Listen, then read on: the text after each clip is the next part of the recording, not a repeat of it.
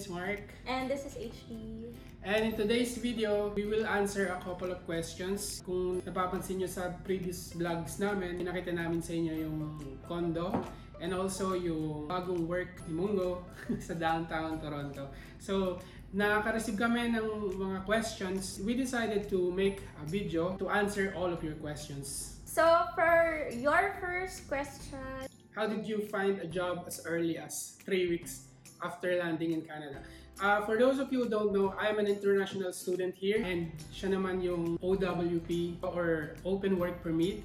So the first question is, how did you as an OWP find or found a job as early as three weeks after landing in Canada? So for that um, question, we have a couple of answers. And tip na din para sa inyo na maghahanap ng trabaho pagdating dito sa Canada. So number one, we used a lot of platforms. So hindi lang kami nag-send ng our resume or CV sa isang platform or sa isang website. Actually, marami kaming sinendan. And more than 300 applications yung sinend naming dalawa para sa akin para makakuha ng work. So, number one doon is indeed.ca or .ca. So, marami kaming sinend dyan. Napakadali lang. So, you can just download the app and click send send applications, a thousand of applications. Another um, um, website is monsters.ca or .ca. We also sent applications via LinkedIn, sa Glassdoor, and sa Job Bank ng Canada. So, hindi lang isa. So, you have to um, explore a lot of job uh, websites or pwede rin kayo actually pumunta sa mga, if meron kayong um, gustong specific na employer, kunwari gusto nyo sa Google, you can go to Google's website and submit your application. Companies' websites. Yeah. Punta rin kayo ron, meron silang mga career page. So, pwede kayo mag-send din ng... We, did, we also did that, pero may, medyo time-consuming siya kasi mag-register ka pa. Each company, register mo information mo. So, ayan, talagang useful yung mga search uh, job platform or job employment platform na itong mga to. So, ang nangyari kasi doon is by the time na we arrived in Canada or we landed in Canada, we did our 14-day mandatory quarantine. Um, so, at the time, wala pa kaming pwedeng gawin sa Canada. Nasa hotel pa kami. So, napakarami naming oras to, to actually apply for the job. So, and then we use these platforms to apply. So, other factor na na katulong sa amin sa paghahanap ng work para sa kanya is teamwork and strategy. So, yung teamwork, syempre pagtulungan nyo, mag-partner nga kayo eh. So, pwedeng habang tulog siya or habang nagpapahinga yung isa, nagluluto yung isa, mag-apply isa para tuloy-tuloy yung yung ah, pagkalat ng resume ni OWP. So, gawa lang kayo ng strategy. For example, ikaw, tuto ka muna 8 to 5. Ikaw muna mag-isa. Or better if meron kayong tigisang laptop, then sabay kayong mag ah, mag-apply ng work, um, mag-answer ng mga assessments dun sa sa Josh sa in Indeed kasi marami yun. So matrabaho talaga so kailangan yung pagtulungan. Teamwork strategy. Yun. So at the time nung nasa 14 day quarantine kami, she had a job. She was working sa PH employer niya. So night shift yon dito sa Canada. So ang ginagawa namin na strategy during the day, I would do apply application using her account or sending email using her account. Yan, tuloy-tuloy pa rin yung application. Then, during sa gabi, habang, well, nagtatrabaho siya. So, she can rest, but at the same time, we can still send out application form. So, hindi nag, naging stagnant yung, yung, yung situation namin doon. Yes. And another strategy na ginawa namin is to prepare yung CV ko and resume and yung mga cover letters nung nasa Pilipinas pa lang kami. So medyo habang waiting sa approval or after ng approval, waiting na lang sa uh, mismong flight, gumawa na agad kami, inayos ko na yung CV ko, inayos niya na yung CV niya. Pati yung mga cover letters ko, actually ready na din siya. So, i-customize mo na lang, depende sa um, ano yung employer, depende sa posi- position na applyan. So, ready na siya. Pagdating dito, send out na lang talaga ng send out ng resumes. Yes. So, prepared na yun lahat. Um, one other tip na pwede namin bigay sa inyo is aralin nyo yung job market sa Canada or kung sa province na pupuntahan nyo. In our case, sa Toronto, nung nasa Pinas pa lang kami, talagang nag-search na kami ng mga, ano ba yung mga available positions dito. Um, ano ba yung mga job titles na napasok sa kanya, yung in line of work niya. So, para pagdating dito, kumbaga parang simula na kaagad ng, kumbaga, simula na ng application eh. As soon as we landed here, tulog lang pagkagising, application na kaagad. Wala nang hinihintay, wala nang pahipahinga, talagang apply. Yun. So, those are the things that we did. At luckily, yun, merong mga, marami ring interviews na natanggap siya and then, um, actually lahat yun, ina, pinun, uh, inattendan mo, di ba? Oo, usually virtual lang naman yung mga interviews. So, Yes, mas madaling because of attendan. COVID, Puro in, Yes. online interview lang naman. So, attendan nyo lang. And then, she also received uh, multiple offers. So, that's the time na na namili na lang kami kung ano yung best offer na, na para sa amin. And also, yung sa career path niya, syempre. Yes, so isa sa mga first interviews and first job offers na na-receive ko is in line with my job. And in terms of the salary and benefits, super okay siya. So, tinanggap na namin agad-agad.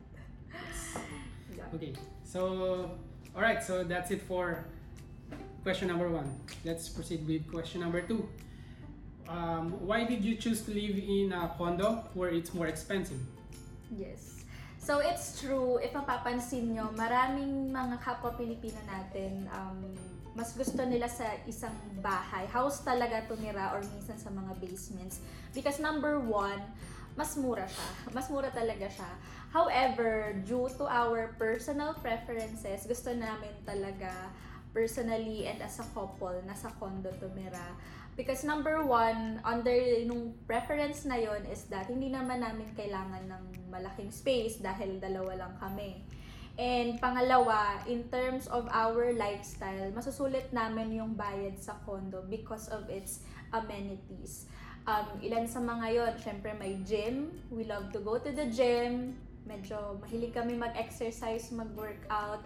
Meron din theater room dito sa condo, may parang mga party place, may mga barbecue area, and a lot of um, amenities. So, for sure, masusulit din namin yung bayad namin eventually.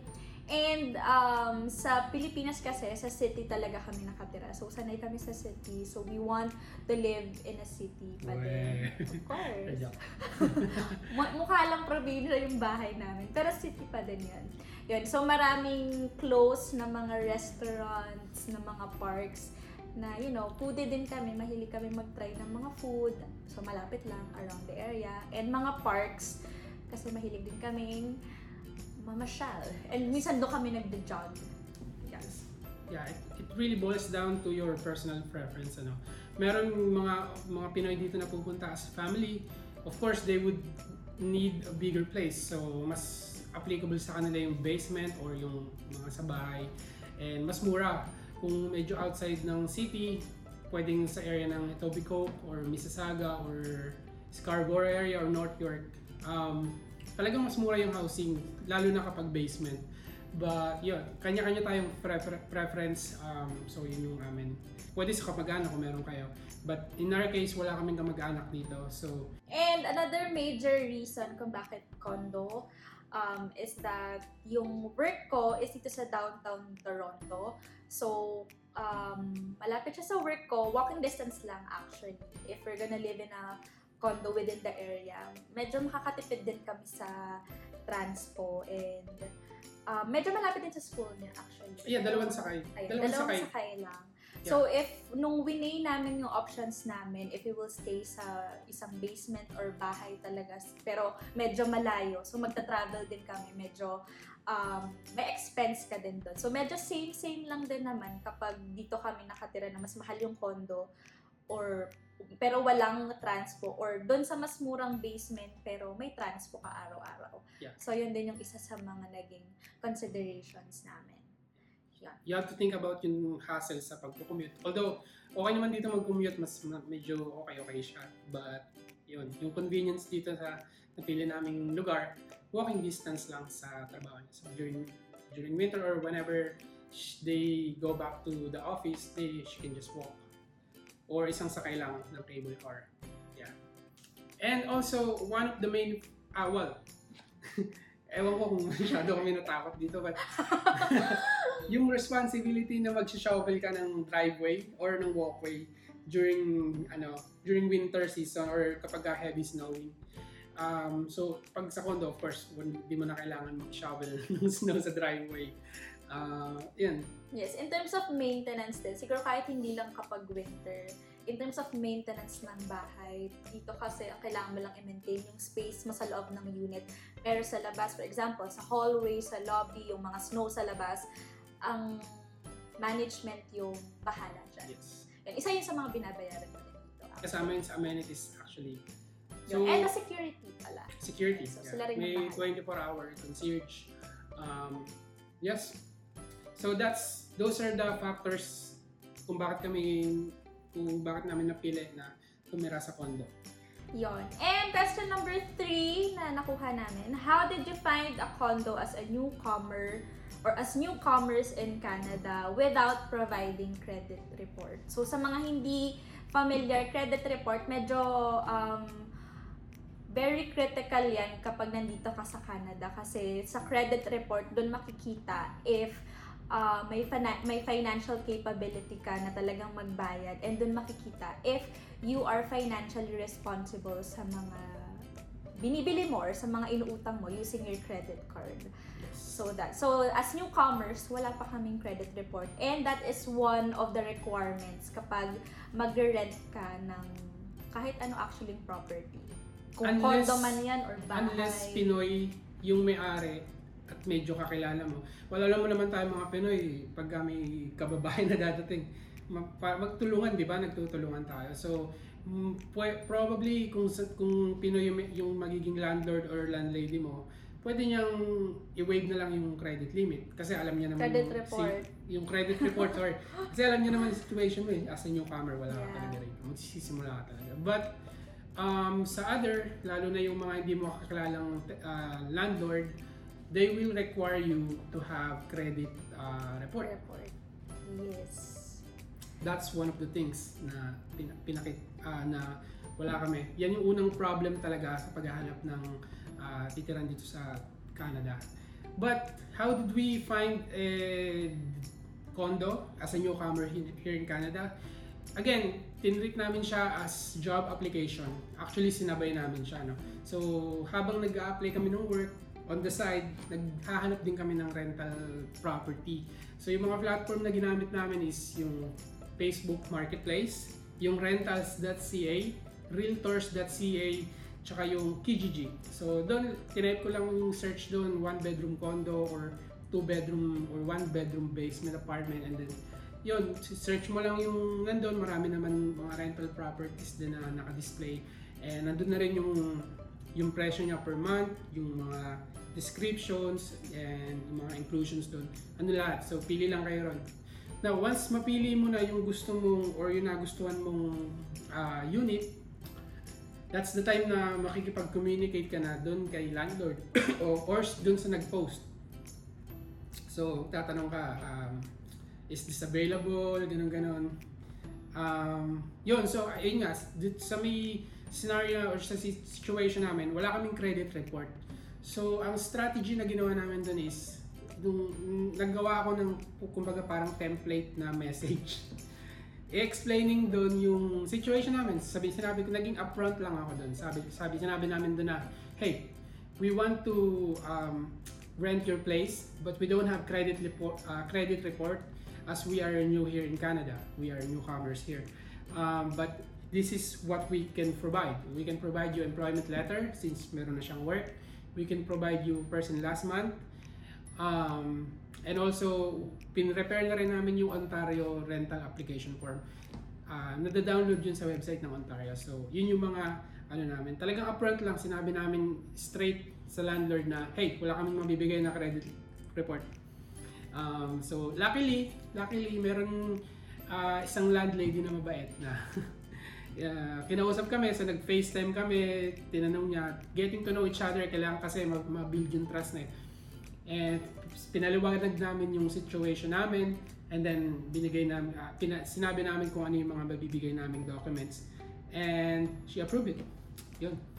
Yes. Pero additional doon sa sinabi niya, nag-present din kami ng bank statement para syempre ah, makita din nung landlady na may capability kaming makapagbayad. Yun. Yes. Syempre, bukod sa employment letter, meron kaming nakatagong amount sa bank na pwede namin ipangbayad sa duration ng lease namin dito sa unit. So, Yes. yeah. Guys, ang ang pinaka-strategy na ginawa namin dyan is, of course, hindi naman kami magmangungupahan sa condo. Tapos ang gagamitin namin pera is yung perang dala namin from the Philippines. Please, ano yun, delikado yun. So ang ginawa namin talaga is, hinintay muna namin na magkaroon siya ng work before kami mag um, ah, maghanap ng condo talaga. So, yun. So, by the time na nakakuha na siya ng condo, karoon na kami ng confidence, confidence na mag-apply, apply. So, yun. Credit report, that's the main problem but it's it's not required by law. Pero that's the main thing na magiging foundation ng trust nyo ng landlord eh. So, be upfront, explain your situation, sabihin nyo lang na newcomer kayo, ah, ganito, tapos mag, of course, kailangan mo rin mag-compromise kahit konti. Kung kinakailangan mo magbigay ng another month na deposit, then do it. You know, kung para lang mag makuha nyo yung gusto nyong place talaga.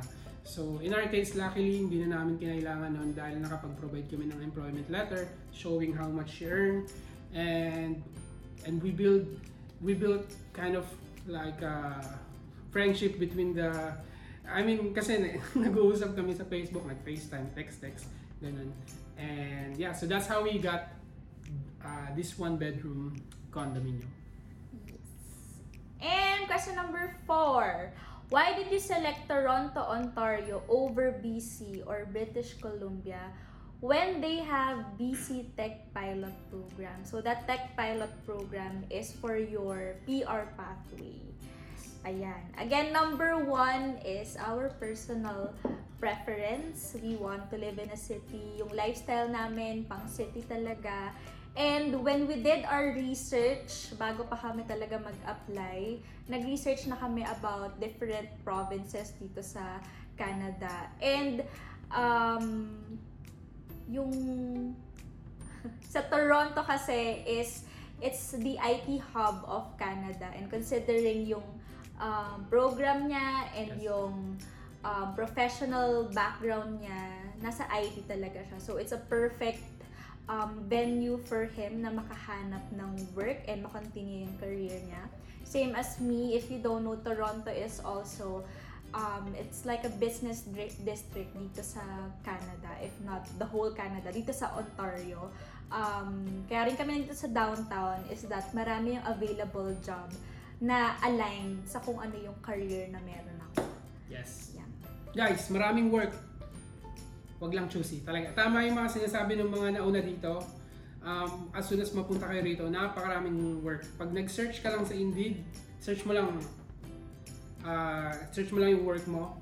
Thousands of lines lalabas. Talagang apply, apply mo lang ng applyan. So, yun lang ang problema kailangan nasa Canada ka para. Yes. Well, anyway, yun, personal preference talaga namin. Uh, after thorough searching ng different provinces, um, kinompare namin yung Vancouver to Toronto. We even consider Manitoba or um, Alberta. Calgary, Al- Calgary.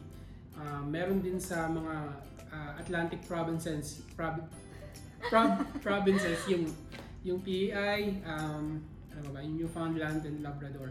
So lahat yun, in- in-study namin, paano ba yung lifestyle doon, um, ano ba yung job market doon, cost of living. So, yun, so la, sa after thorough searching, inabot din kami ng 3 months din pagbabasa. So, yun, nauwi kami ng Toronto. I think, or we think that Toronto is the best for us. Iba-iba tayo ng reference, iba-iba tayo ng choice. So, in our case, uh, we think that Toronto is would be the best um, city for us. Yes. And also, nat- napili namin yung Toronto is because nandito yung school ko eh. Dito ko nakita kasi yung program na gusto ko, tsaka yung school na nag-offer nun. So that's why uh, napunta rin kami talaga sa Toronto. And yung nasabi nga ni, ni Hira, yung opportunity for uh, for job um, lalo dito sa downtown sa financial district, napakadaming uh, work na kailangan talaga ng manpower. So, when we are here, nag-apply kami, uh, we got lucky. Yan. So, and also yung BC Tech pilot kasi, I've been reading about it. Yes, it's good. Actually, na-consider ko rin siya. Second choice namin yung Vancouver just because of the BC Tech pilot. But, um, again, yung tuition, maraming factor na nag, nag, nag take in kasi yung tuition sa Vancouver, yung program na gusto ko is wala dun sa any school doon. And um, hindi naman ako pwede kasing kumuha lang ng kahit anong course, di ba? So, pag sinabing computer programming, eh, hindi ko naman forte yung programming, eh, I don't, uh, I mean, hindi yun yung line ko. So, if I take it na meron sa Vancouver just because of the BC Tech pilot, doesn't make sense kasi hindi ko may enjoy yung course and I don't think mag-excel ako sa programming dahil may, may na ako sa logic. But, yes, so, after weighing in, um, I have the, I have a good program here, good school, um, and we have uh, studied na rin yung PR pathway para sa amin. We will discuss yung kung paano yung plano namin sa PR pathway but um, again, we are just living in the moment.